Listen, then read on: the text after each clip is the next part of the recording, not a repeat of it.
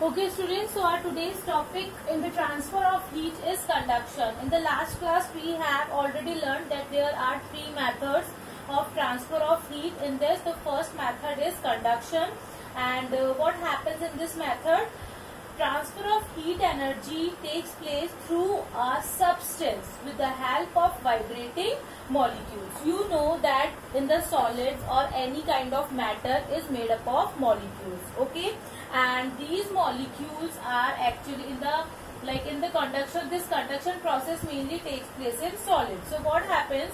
In the solids the molecules are too compactly packed okay they are too compact they are very close to each other so whenever they will get the heat energy if the one molecule will get the heat energy it will start vibrating and obviously these molecules are keep on vibrating and when they get energy they transfer the energy from one molecule to another just like the case 1 when I talked to you about the three cases I told you that the filter can uh, pass the ball to the bowler by the three methods. In that first one is it will pass to the another uh, player and then that player will pass to the another player and then that player will give the ball to the bowler. Likewise that the energy will be transferred from one molecule to another in the process of conduction okay so uh, mainly this process actually takes place in the solids only. This conduction will not take place in gases or in liquids. It will only and only take place in the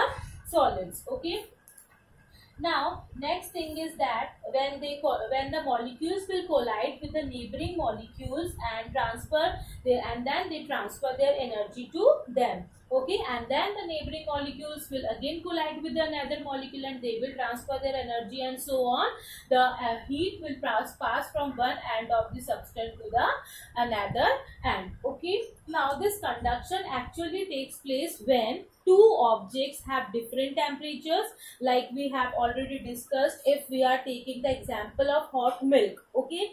And when we will cap the hot milk into the environment then the environment is having lesser temperature as comparison to the hot milk. So the hot milk will transfer their temperature to the environment mean means high uh, high temperature region to the low temperature region okay or region of low temperature. Or this other another condition is that uh, different parts of the same object are at different temperature. Like in the hot milk in the uh, like in a glass of hot milk if we will keep, keep a uh, spoon then the spoon is at lower temperature and one part of the spoon means the below part of this spoon is uh, is in the higher temperature. So what will happen? The the temperature will or the heat energy will pass from the from this particular part to the end okay? Because this will cap in the hot milk and it will be outer uh, it will be in the outer environment. So the heat energy will pass to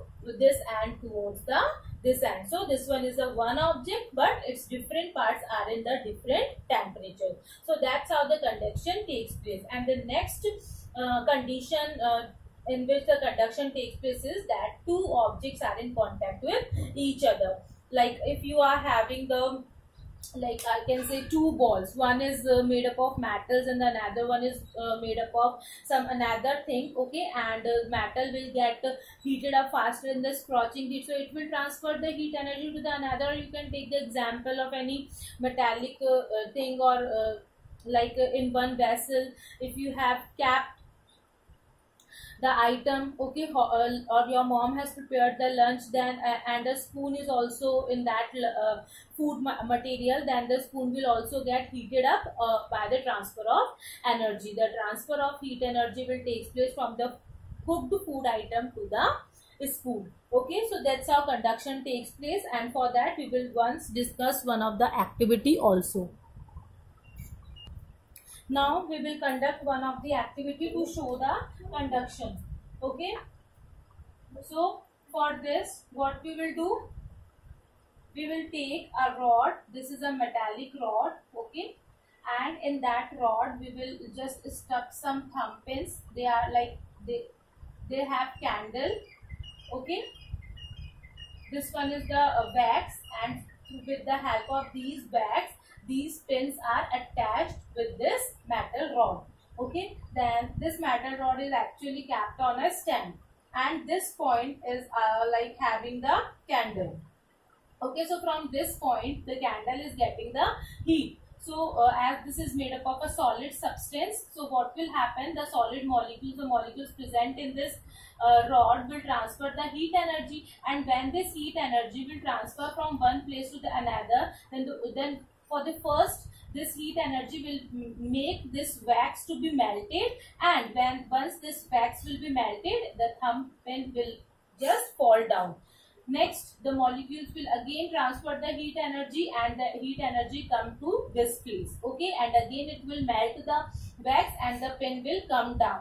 Likewise this the energy will transfer to the last end. Okay? And the uh, last thumb pin will also fall down. So this shows that heat is transferred from the hot end to the cold end without actual movement of molecules. Here the molecules are not moving only the heat energy is moving to one uh, molecule to the another. Okay, so that's how conduction of uh, heat energy uh, or we can say transfer of heat energy takes place by the method of conduction. Clear? Now there are some characteristics of conduction. First characteristic is that conduction is a point to point process of transfer of heat. Point to point transfer of heat means like one molecule to the another. This one is one point, this one is another point. So point to point. Okay. It will uh, in this conduction method point to point transfer of heat takes place. Okay. Next is heat can be transferred from one object to the another from one object to the another okay if they are in contact with each other. Suppose if these thumbprints will not be in contact with this metal rod, then what will happen? The heat energy will not transfer to them, but as they are in contact with each other, that's why the heat energy is transferring. Okay, and also from one part of the body to the another part that I have discussed also, or here you can see this end has been heated up and the energy will transfer from this end to the last end. Okay. And the last characteristic is if one part of a body is heated by direct contact, then the other part will also get heated successively. Here also it is uh, uh, this type of uh, uh, conduction going on. If this part is in direct contact with the heat, then the another part will also get heated up successively. Okay. Now, uh, under this uh, topic, under this conduction, there is another topic that is thermal conductivity. In the last chapter, we have learnt about the thermal expansion. But here, we will learn about the thermal conductivity.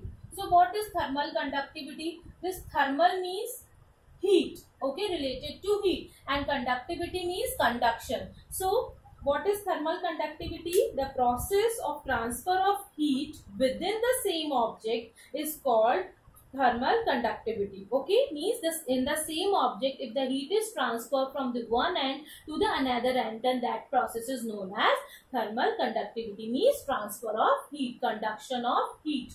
Okay, and depending upon the capability of heat transfer, objects are uh, classified uh, means broadly classified as good conductors and as bad conductors. Like it depends. One object is a good conductor it can conduct it can transfer the heat energy so much whereas some another objects do not conduct the heat energy so much. So on the basis of their conductivity on the basis of their capability of conductivity they are uh, classified. Okay? So good conductors are those which can conduct the electricity. Okay uh, which allow the heat to pass through them okay? And whereas the bad conductors or the insulators are those which do not allow the heat to pass through them okay? Uh, in which in the good conductors good conductors silver is the silver is known as the best conductor of heat silver is known as the best conductor of heat. It can conduct the heat very fast. And another examples are copper or uh, aluminium, silver or iron, etc. Okay, they can easily pass the heat. Then the bad conductors or insulators. Bad conductors are also known as insulators which do not conduct the heat at all. Means like uh, if you have seen the handles on the pressure cooker or any non-stick pan. Okay, so that handles are the bad conductors of uh, heat okay they do not pass the heat from one end to the another they are usually non-conductors okay so non-conductors of heat are actually the good insulators Fine. Examples are wool, wool, felt, fur, feathers, polystyrene foam, fiberglass, etc. Air, air is also a bad conductor of heat, okay? Uh, or we can say it is a good insulator. Fine. So students to demonstrate the conductivity, we can conduct the uh, exam uh, like activities also for that. You need four types of rods. One is copper rod, another one is aluminium rod, then brass rod and then last one is iron rod. And then what you will do, you will just fix a matchstick at the one end of these rods with the help of wax. Okay? With the help of wax we can fix the matchsticks just like we have done in this activity. And then what we will do at, the, at these ends means the opposite ends we will heat them. Okay? We will heat them and we will uh, observe the timing at which time this um, matchstick will fall down. So what we will conclude? We will conclude that the uh, matchstick on copper rod will fall first then after copper aluminium then brass and then lastly iron. So we can conclude that copper uh, in these four types of rod copper is the best conductor then after copper aluminium and then brass and last one is iron so we can conclude that different metals have different thermal conductivity clear and most liquids including water are the bad conductors of heat. Similarly, all gases including air do not conduct heat. That I, uh, I already told you. That's why this conductivity will not take place in the liquids and uh, gases. It only takes place in the solids. Okay. And there is the last activity to show the conductivity of water.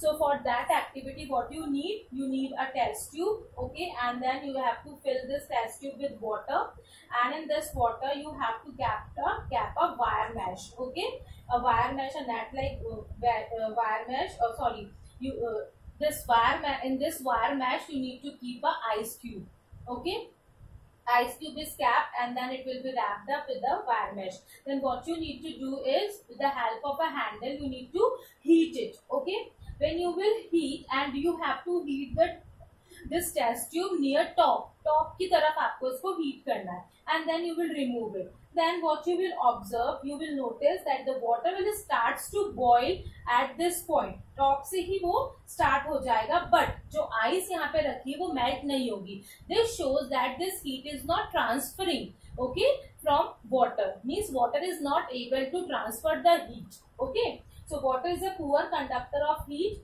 water at the top of the tube boils before ice cream, uh, before ice cream ice at the bottom melts as ice does not get heat up through poorly conducting water. Means when we were heating the water, then water starts to boil. But it does not let the ice to be melted up because the ice do not get the heat from the water. This shows that water is a bad conductor of heat. Okay students, so that's all for today. In the next class, we will learn about the convection.